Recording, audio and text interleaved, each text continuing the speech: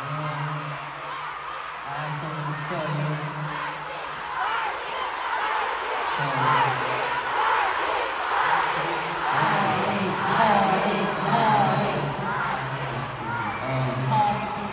I think back in 2020, Six Dream came to Manila for a show. Now we're there. Now we're here in 2023. And we're here without Cholo. Which means, it only means that we have to come back and really show Manila. Really show Manila what Seven Dream looks like, okay?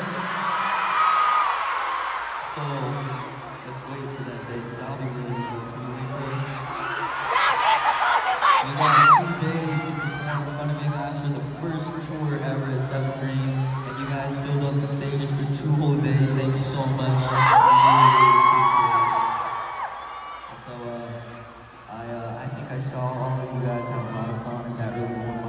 because I had a lot of fun. So, I can't wait for the next day with me.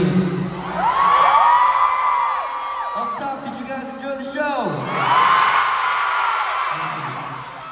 And uh, just to quickly address, I saw a lot of people worrying for me because they think I kind of hurt my ankle or something.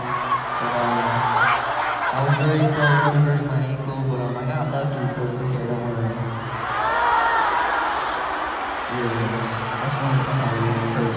Anyways, uh,